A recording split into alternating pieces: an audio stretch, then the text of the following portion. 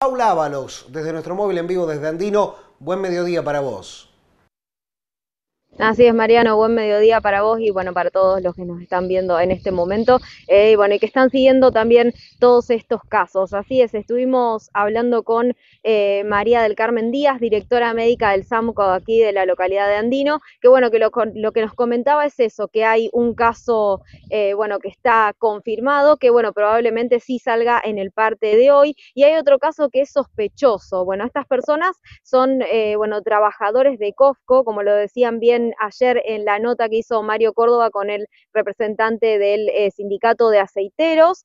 Eh, así que bueno, están en buen estado de salud, están aislados, por supuesto, y también, bueno, en la mañana de hoy hablábamos eh, con autoridades de la localidad de Ricardone, porque allí también surgieron positivos dentro de esta misma fábrica, que es donde, bueno, hay muchas personas que ya están confirmadas con como casos positivos y hay personas aisladas.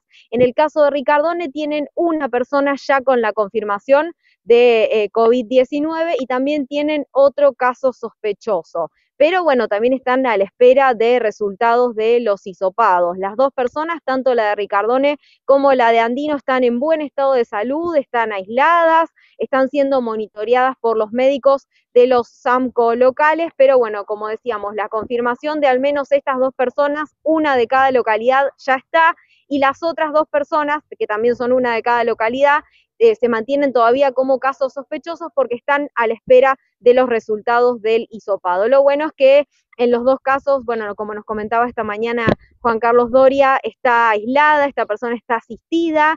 Eh, bueno, en, la madrugada del día lunes ellos recién se enteraron de este caso positivo, así que bueno, por suerte están todos en buen estado de salud, pero eh, era lo que nos decía, están expuestos, están trabajando en espacios donde más allá de que hay rotación de trabajadores, hay muchas personas provenientes de distintas localidades. Lo que es el cordón industrial tiene esta característica.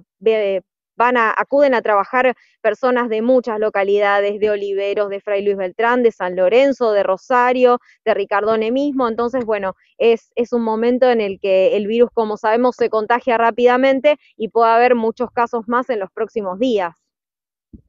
Bueno, hay una realidad en algo y lo que tratan de hacer muchos presidentes comunales e intendentes es tratar de estirar lo más posible para que el virus no llegue a los pueblos. Pero claro, eh, realmente es imposible. En este caso hablamos de trabajadores que viajan a otra localidad para desempeñar sus funciones y que eh, lamentablemente han dado positivo.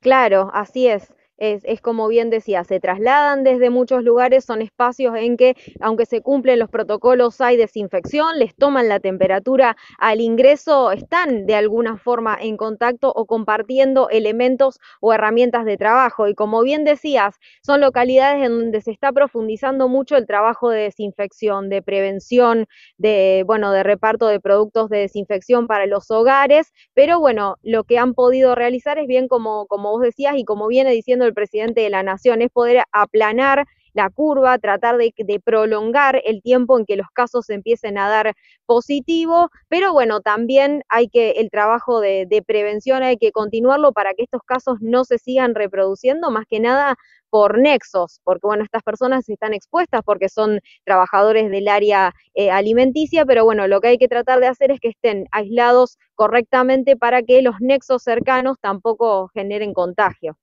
Bueno, justamente eso, eh, y tiene que ver con el, círculo íntimo. Eh, ¿Están aislados en sus propios domicilios? ¿Están en centro de aislamiento? ¿Cómo es la situación de ambos trabajadores, tanto de Ricardone como de Andino? Bien, estas dos personas están aisladas cada una en su domicilio y como te decía anteriormente, lo que es Ricardón está monitoreado por el SAMCO local. Personalmente, Mariano Osoria, el director del SAMCO, es el que se está encargando de hacer el monitoreo con esta persona y hablar diariamente para ver en qué estado de salud se encuentra. Y en el caso andino también, esta persona está aislada en su domicilio, también con, control permanente, los dos por suerte con ningún síntoma. Se han hecho el hisopado, bueno, por este, este caso que se da en, la aceitera y bueno, y por una cuestión de, de prevención se les hizo el hisopado a todas las personas que podían ser sospechosas.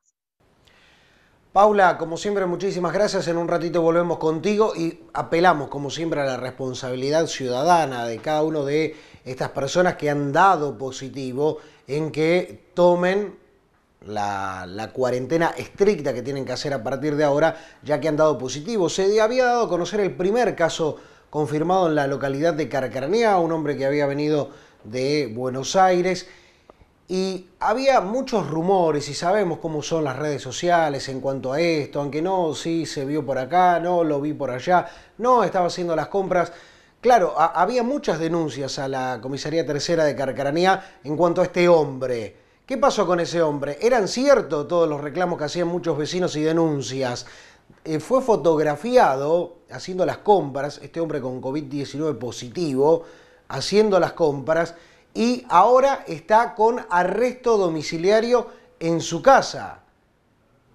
Digamos, vamos con lo que tenía que ser. ¿Por qué tiene que estar la fuerza de seguridad controlando lo que tiene que hacer este hombre que tendría que haber hecho la, la responsabilidad de quedarse en su domicilio encerrado y más aún cuando tiene un COVID activo?